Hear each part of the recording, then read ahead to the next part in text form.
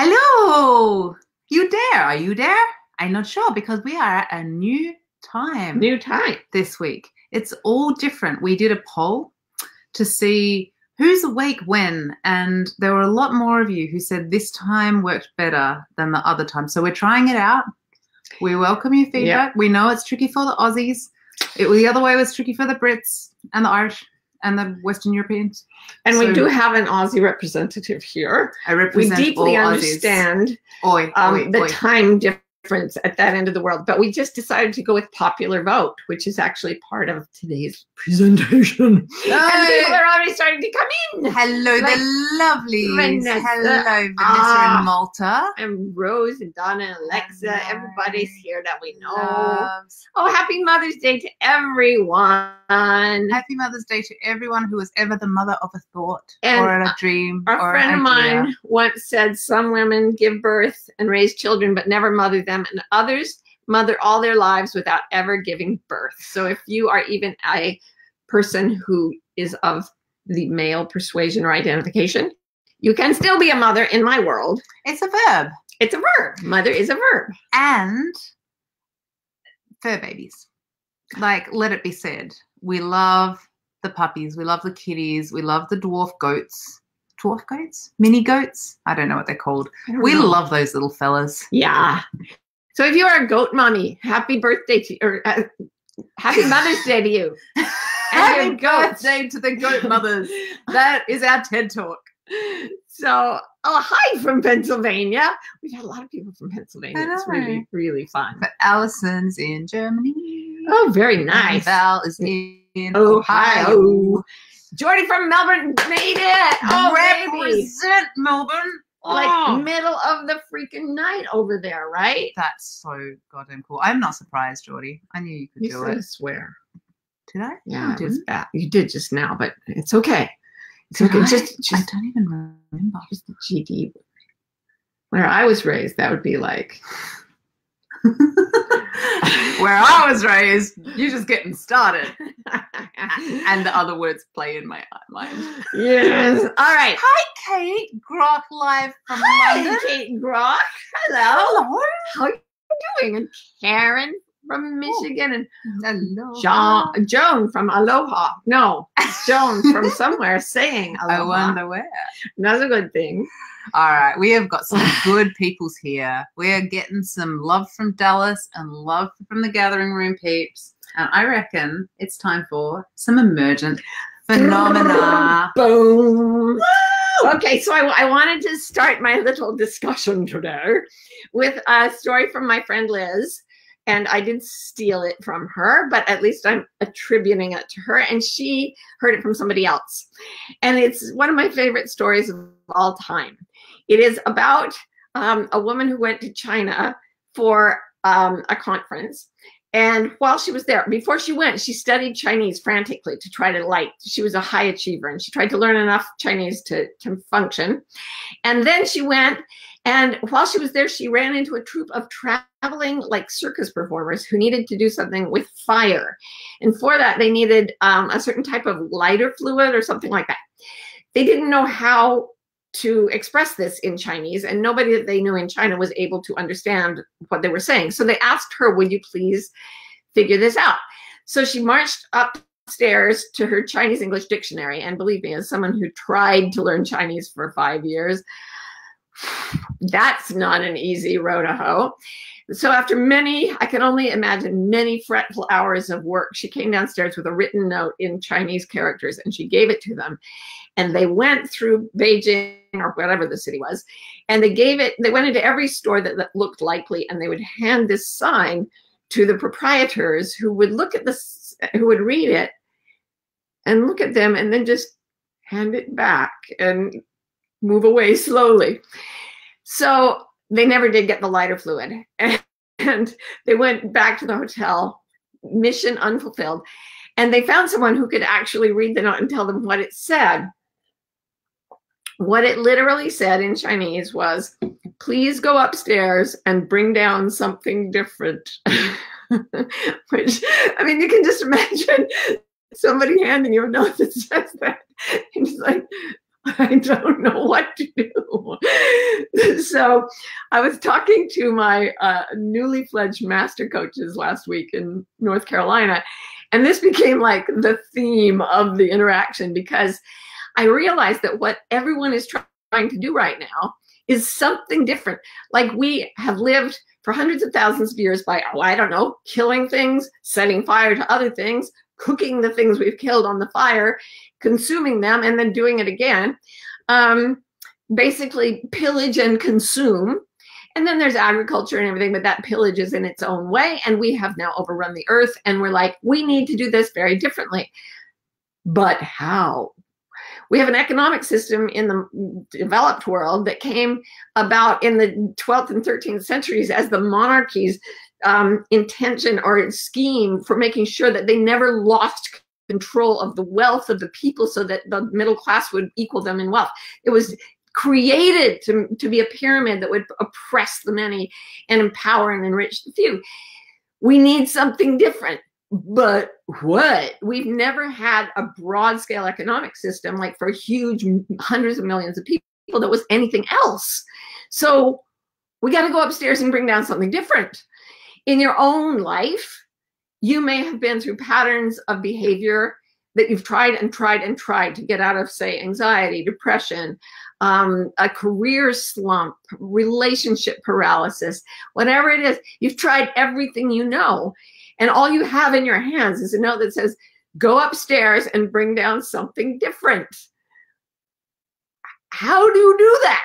Well, long ago, when I was just a wee PhD candidate doing my dissertation, I interviewed a whole bunch of people, like 300 people, because I was trying to figure out how, at the time, mainly women could go upstairs and bring down something different in their own lives because they were the victim of two systems, one of which made them the caretakers of the old, the sick, and the young, one of which said to them, you have to go out and achieve on your own and abandon that system if you are to be considered a respectable individual.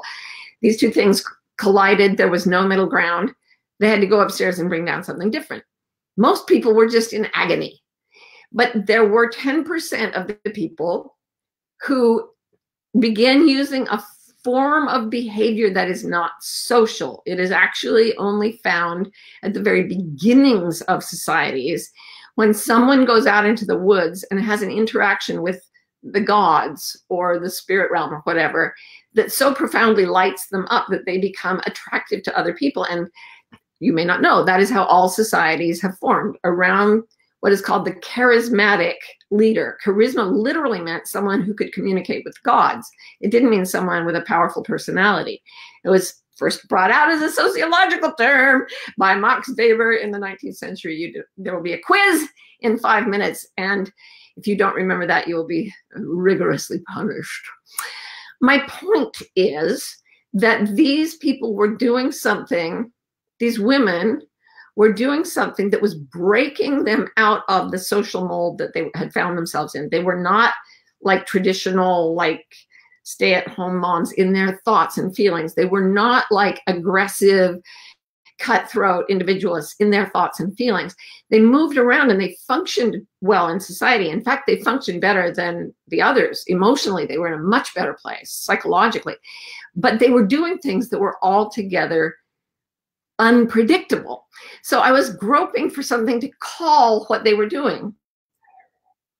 And I came to the, the concept of an emergent phenomenon. Now, an emergent phenomenon, listen carefully, is when you get a whole bunch of simple components, you put them together, and they create some qualitative thing, some amazing thing that is not present in any of the component parts. So, for example, one that's most near and dear to me is you take a bunch of proteins, you mush them together, you put in water. What do you get? Well, you get soup, but somehow at some point you got life. Now, once this life has left a body, it's just a bunch of proteins and water. And there's we don't know how to inject life in that into that. We don't know what life is. We have no idea what life is. Life is an emergent property that apparently came from a whole bunch of proteins getting together, none of the proteins being alive in the way that a creature is. So, whenever you get um, systems that emerge from lower systems, these kind of impossible, unprecedented things happen. So, you get a bunch of subatomic particles together and they create particles, which don't act at all like subatomic particles. Newton's physics doesn't appear in quantum phenomena, but when you get enough quantum, like itsy bitsy subatomic particles together, they start acting according to Newton's physics.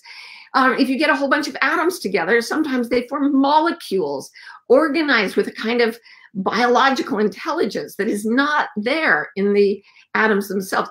Molecules can coordinate into cells. Now you've actually got a living thing that's doing stuff, and nobody knows how that comes out of the molecules. And then you put a bunch of cells together, and you can get a human being. And nobody knows how the quality of human being comes out of those physical cells or any animal, right? So you can see there's at each level, there's a bunch of rather simple parts that get together and then create something completely different. They go upstairs and bring down something different. And the reason that's so fascinating is that the something different is greater than the sum of the parts. A, a really interesting example of this in economics is that is um, the so-called wisdom of crowds. If you get a bunch of people and a barrel of beans and you say, guess how many beans are in the barrel? Again, follow closely. If you add up all the answers of everyone in the crowd and then divide by the number of people. So you get the average answer. The average answer will be more accurate than the most accurate single guess in the crowd. The crowd itself is a better predictor, is, better, is better at guessing the number of beans than any individual in the crowd. Here's an interesting part. The more diverse the crowd, the more accurate the answer. So if you got a whole bunch of rocket scientists in a room the wisdom of crowds would be less than if you had rocket scientists, a whole bunch of like railroad yard workers, my son Adam with Down syndrome, and like Lucille Ball, I don't know, but make it really diverse and you're going to get a wiser answer. The crowd becomes wiser as it becomes more diverse. And we don't really know why. A diverse crowd goes upstairs and brings down something different, an intelligence that's different. So how does this apply in your life and mine? Well, I was thinking about this today, and I realized that in my own life, I've gone through a level of emergent um, stages where I've had sort of quantum leaps forward in my happiness, in my feeling of integrity, in my understanding of the world, in my relationships. And the the recipe is so simple. It's a combination of experience, emotion, silence, and time. When I combine those four things, and the more diverse it is, the more diverse my experience, the faster it happens. Not the more like intense and focused. Like all that time at Harvard was very, very monotonous, but traveling, being with a lot of different people was very diverse. The emotions that come out of that are also very complex and diverse. And if you don't allow all of them, the emergent phenomenon is not as wise and it doesn't come as fast. So, allowing every emotion to exist as it is in a field of stillness or silence. And this came to me not that late. I first ran into the concept of meditation at 23, really started going after it at about 30, and it's been a while since then, youngins. So now I've realized that uh, you've all had divergent experience. You've had lots of diverse experiences. You've all had lots of diverse emotions. You've all had some time. I think the, the part that's missing in our lives, that is present in the lives of the, the beasts of the field and the sea, is stillness. If you can add the component of stillness to experience emotion and time, and like just let it go, what happens is that that combination of factors goes upstairs. it goes to something completely different. and it brings down something different. And one day you're sitting there in your suffering and you're watching it, all this emotion. Um, this happened to me when I was super anxious for like a month. And one day I just sat there with all the experience, with all the emotion in the stillness, and it, it became time. And I just went, oh, okay, none of this is actually as real as I thought it was. And it was just, it was just a little opening. And I've gone into that ad nauseum. It sort of led me to a new worldview, but it was a calmer, um, it felt like a truer worldview. It settled into my cells as something that I could relax and believe. It was a level of perspective that was not in any of the perspectives I'd brought to bear in my life to that point. It went up a level. And I know I've got a lot more levels to go up, but I really believe take your experience, make it diverse as possible. Let your emotions be as completely whatever, go to the extremes as long as you hold them in a field of stillness or silence, like holding still and being okay with suffering instead of insisting that suffering not exist, holding still with happiness instead of running around being manic and trying to make happiness persist, just being there with the transience and intensity of emotion in silence over time creates an emergent phenomenon that's like life coming into a place where there was no life. And I do believe that if we can do that as individuals, we have a chance of doing it as a crowd.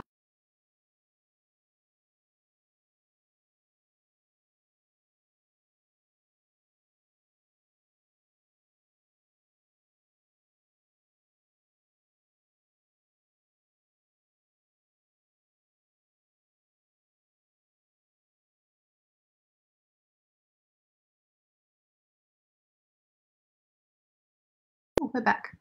Lots of people excited. Um, I have a question from Alexa here. That one. Sorry, guys. Wow, someone said they just had that experience today. That's so cool. That's excellent. Um, you might want. Oh, here's an example. So you want to read it?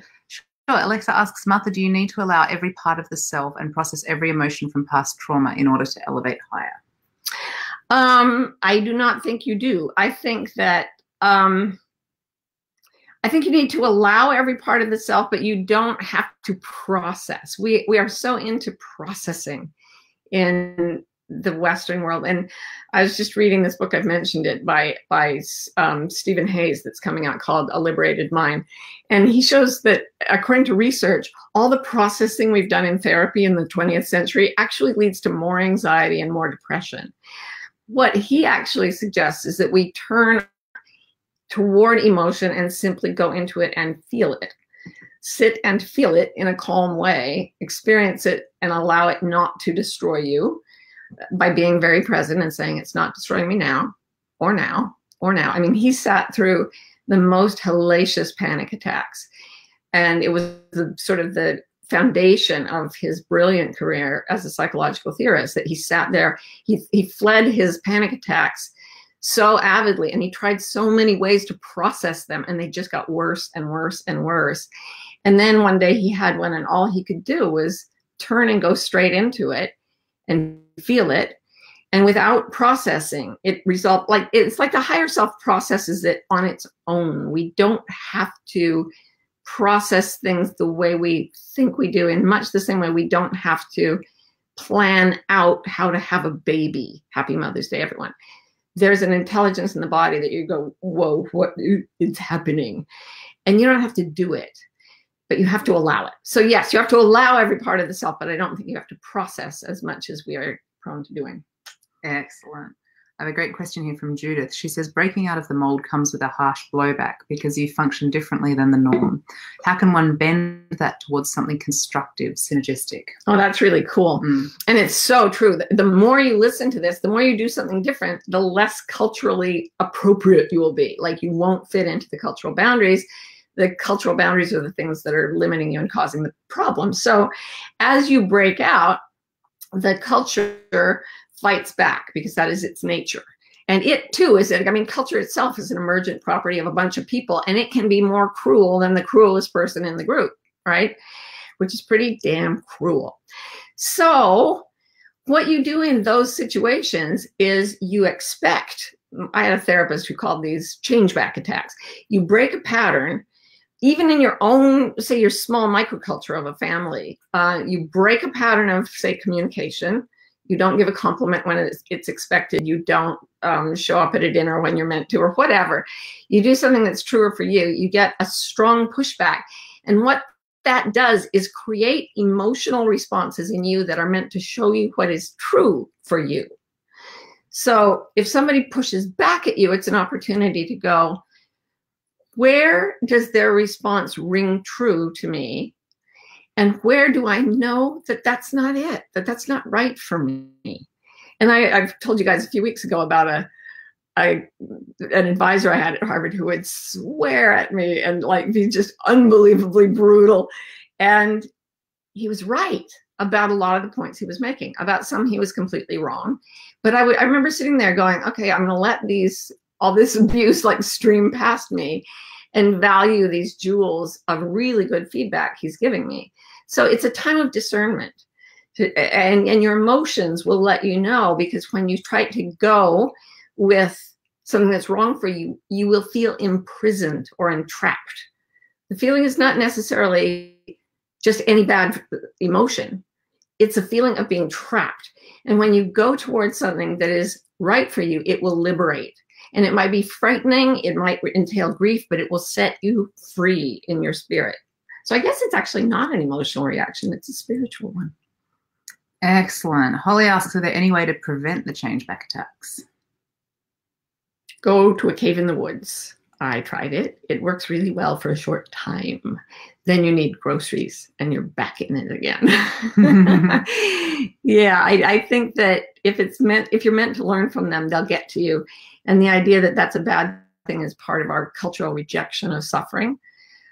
I'm not a fan of suffering, but to think that you have to be spared any type of stressor, emotionally or physically, just leads to um, to not engaging with the world as it is and not not growing. So no, you can't prevent it, but that's okay. You'll be okay. You'll be fine. You got all of us. We're all out here. Some people are voting for the cave. Uh, Jessica asks us, she says, I relate to the oxygen mask thing. If I have nothing to give now but take time to heal, um, will there be something to share with humanity later on? Yeah, when you go upstairs and bring down something different, and when you're out of oxygen, you really are suffering at that level. That given time and silence will create an emergent opening in you. And what you bring back is what you are. And this is the classic hero saga. You go into the other realm, you go through the road of trials, you fight with the demon, you become the goddess or the god, and then you bring back the gift to the people. The thing is that the gift is so beautiful, you might not even want to come back among other people, but coming back itself and being is the gift. That's how you deliver the gift. Mm. And that pushes the whole the whole operation to a new level. Excellent. Love that. Donna says, when you realize a moment of criticism or abuse is true, how do you recover to move forward without demoralizing yourself in agreement? When it's true, it's not it's not demoralizing unless you're putting language around it, a story around it that says I'm bad for doing that. If somebody like I've been watching Rogue put in edits for um for a novel and she got some edits that were just like perfect. And she went absolutely like couldn't wait to go put those changes into the novel. Then if you feel or um, experience something being like a, a blanket of cement thrown over you that actually is not something you need to take on at all. If it stops you and it gets you stuck it's it's in the old patterns it's not different it's not fresh no no no that's not truth if it stings, but it stings like antiseptic, like, oh, now I know exactly what to do and this is healthier, going toward it, you might have some embarrassment or shame. Tidy that up. We all do things wrong. Just like let it go and move into what you now know to be a better way of doing things. And you will not feel, you'll not feel blasted by good feedback. Even if it says negative things. There you go. All right. Jane says, I've been asking for more slack on my line, but still find myself looking for an ending point to the pain instead of surrendering. Advice? Mm, it just, it's, oh God, I've done that so many times. I don't want to curse God and die. I have tried to curse God and die so many times, and I'm always like, eh, still alive, still alive. And God's fine too. And God's fine too. Um, and so what what I've learned to do in those times is become very present. And it's interesting because I I experience them as times of great spiritual and psychological and intellectual crisis, but in fact they're almost always physical. They almost mm. always need a hug, a, a cup of tea, um, you know, uh, some time to sit and breathe quietly. It, very simple, loving acts get you through this moment and then the next moment and the next moment. And it's in the simplicity of these acts that divinity reveals itself.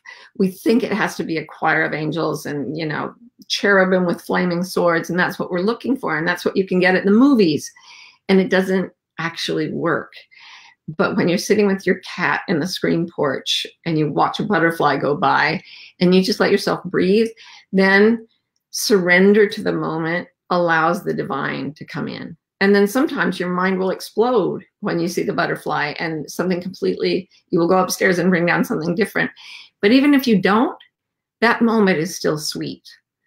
And it's that sweetness that you are trying to track through the world. That frequency of sweetness is everything.